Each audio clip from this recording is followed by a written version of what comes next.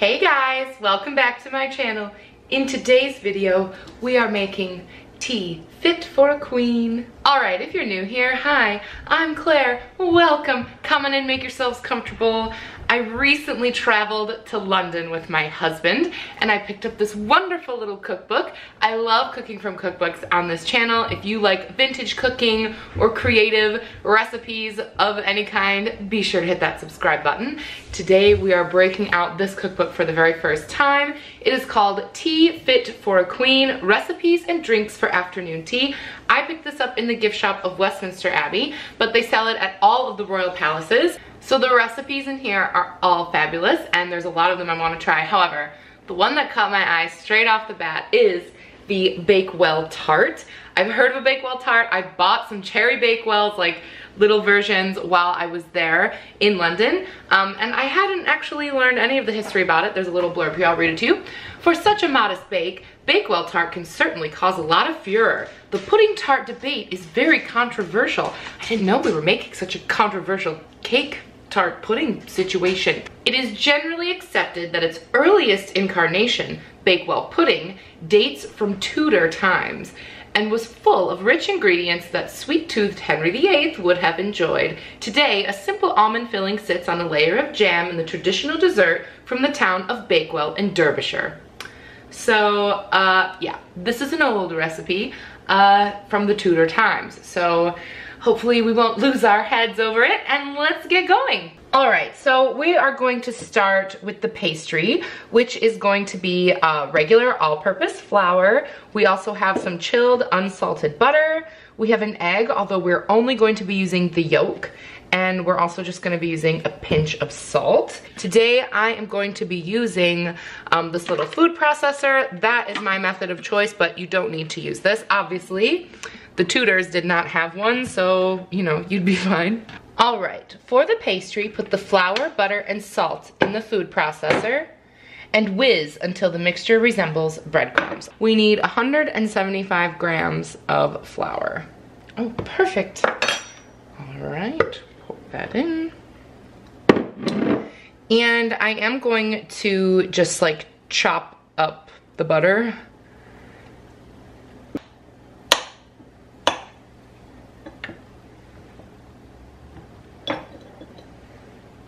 now we're gonna throw in a pinch of salt.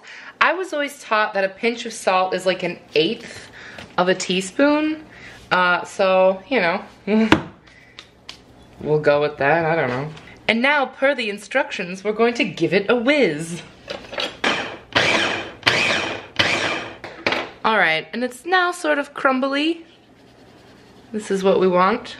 Now we need to separate our yolk from our egg. And to that, we're going to add two tablespoons of cold water.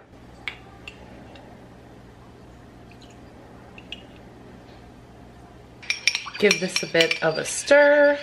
All right, now we're supposed to add it. Oh no, oh, I already took this out. We're supposed to pulse it a few times. You know, it's okay. It'll be fine. we're just gonna just gonna do one of these. We're gonna tip it out anyway, right now, very soon. Throw a little flour down. And tip this out. All right, from my previous experience working with this type of uh, crust, we definitely don't wanna over knead it. We just want it to come together like just so. And I know you can also drizzle just a little bit of water on there if it's a little bit too dry. I am gonna go ahead and do that just a bit.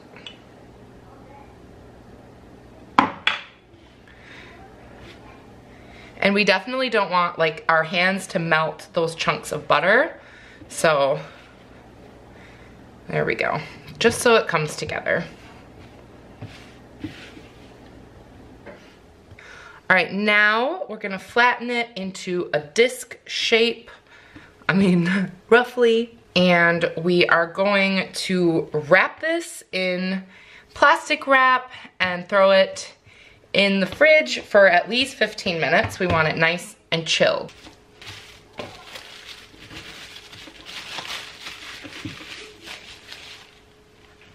All right, it's been 15 minutes, and so now we are going to roll our pastry out.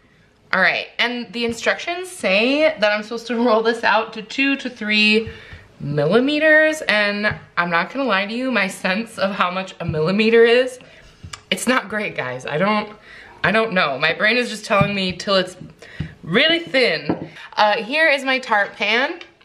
Uh, I borrowed this from my mom, so thanks mom for lending that to me so I didn't have to buy one just for this recipe. Does it say to grease the pan? No, it doesn't, but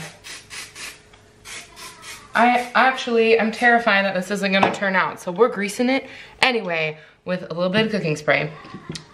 On the British Baking Show, they do one of these, you know? Like rolling it up. Oh my God. Oh, I'm so worried it's gonna break. It's okay. Oh, okay. Because you definitely do not want to overwork this dough or it will not do what you want it to do. Okay. Okay, all right. It's gonna be fine. I've actually never made a tart before, ever. I've never used this pan. This is the first time. All right, now I'm gonna just cut the excess off here. Oh my gosh, ugh. I feel like it's not gonna look fancy. All right, now we need to take a fork and prick the base of it all over.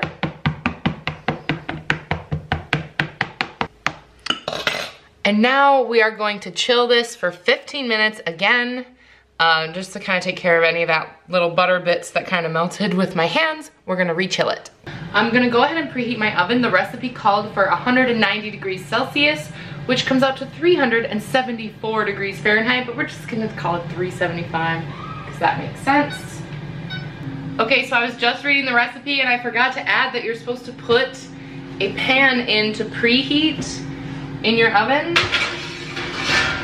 So I did that. All right, our crust has sufficiently chilled and now we're gonna bake it. However, um, even in this old school style uh, cookbook, it does call for baking beans. They are also called pie weights in the United States. Do you think I would spend money on those? No, I wouldn't, not when I have a bag of rice. So I'm just using some parchment paper. You could also use foil.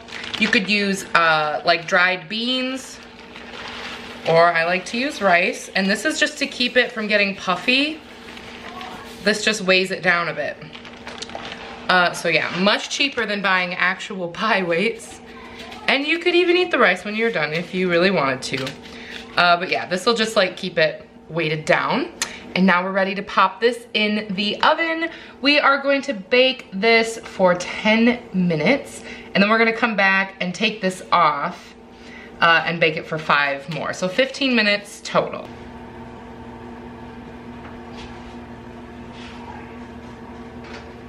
It's not like the end of the world if some of it gets in there. Haha, perfect. And now we're gonna pop it in there for five more minutes. All right, while our pastry is baking, I'm gonna go ahead and make our filling. Um, for the filling, we are going to need sliced almonds. We also have almond flour, which I have found in these um, United Kingdom recipes to be called ground almonds, but you know, almond flour. We also have some almond extract, heavy on the almond flavor here. We have some softened butter, 75 grams to be exact. We have two eggs. We have 75 grams of sugar. And we also have some self-rising flour. Uh, this is going to be 25 grams, so not very much. I do pretty much think that they did not have self-rising flour in the Tudor times. I remember reading that it was a Victorian era thing, which is why the Victoria sandwich, one of my favorite cakes, is so light and fluffy because of self-rising flour. So I'm not really sure how like really accurately Tudor this is, but anyway. We've used it as our inspiration and that's what we're doing. We also have one of the main tenets of the uh, uh, tart, which is some jam. Now, the recipe technically calls for raspberry jam, two to three tablespoons. However, I have this Wild Maine blueberry jam that I got in an Imperfect Foods box that I've just been waiting to use with something. And this just seems like the time. Now is the time to use it. So you know, we're altering the flavor just a little bit, but like it's still a berry and it's also a very high quality jam, which I think is more important that it's of quality rather than which fruit it is. I don't know. We're going with this jam. First thing we're going to do is we're gonna beat the butter and the sugar uh, until it's creamy. So, you know, like most recipes of this style, cream in the butter and sugar. And we need 75 grams of sugar. And I also will admit that this isn't that much sugar, actually. Um, I know like American style cakes are often a whole lot sweeter. All right, there's our 75 grams. Throw that in there. Cream it up. This is nice and creamy. I'm gonna add my eggs one at a time.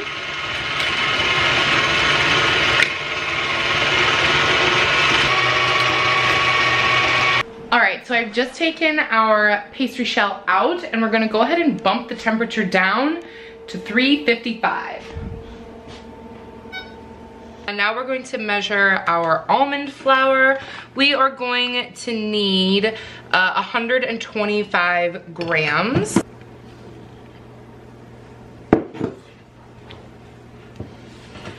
Now we need a quarter of a teaspoon of almond extract. I'm just gonna eyeball that.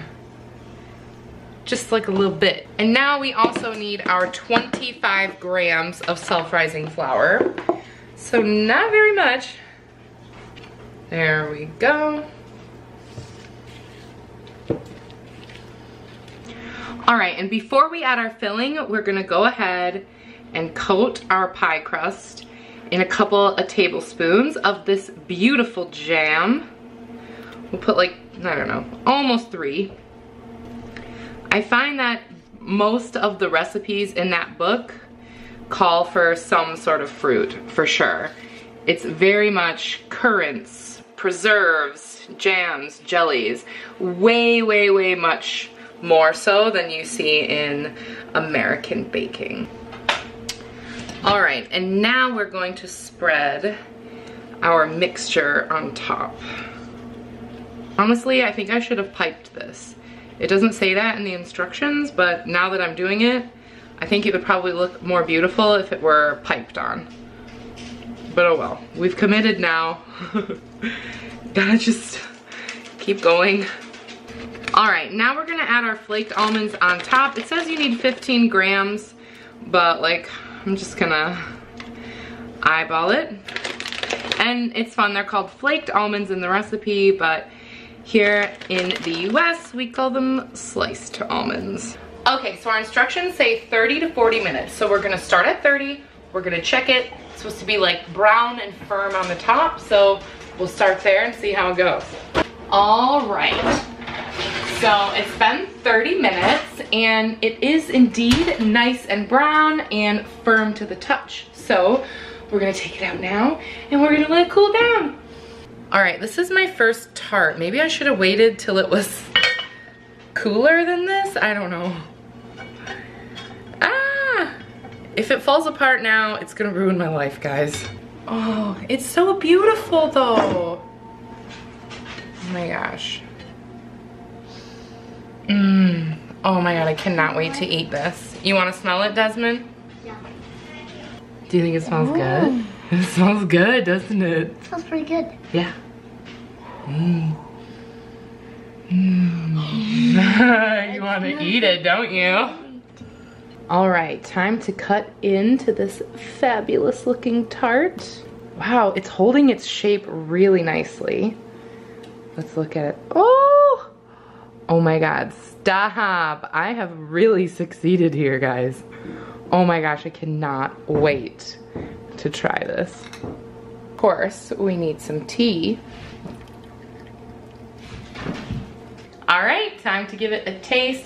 I am so impressed with this crust. It is like the perfect crispness on the bottom. No soggy bottoms in the tent today, everyone. Gosh, when is the next season of the Bake Off? Oh my gosh. This is so good. I can see the debate between a tart and a pudding because it definitely has a more cake-like texture, but it's got this great jammy bit that does make it more of like a pudding, you know, type situation. And honestly, those almonds are unbelievable. Like that flavor is so good. And I was a little worried about it being like not sweet enough, but it's totally, totally sweet enough. Mmm. And of course, what would our tea time be without a little bit of tea? And there you have it, the Bakewell tart from the Tea Fit for a Queen cookbook. I really, really enjoyed this recipe. It was very easy to follow, super beautiful, and something I will totally make again, especially if I'm bringing it somewhere. I think it definitely makes an impact. It's really beautiful. So yeah, leave me a comment down below. Let me know what you thought of this. Have you ever had a Bakewell tart? How do you think I did? Uh, yeah, and I'll see you guys in my next one. Bye! Oh, I gotta doesn't Queen Elizabeth, doesn't she do like the little one? And then there's like the Genovian wave, you know. The most important royals, Queen Elizabeth and the Queen of Genovia, duh.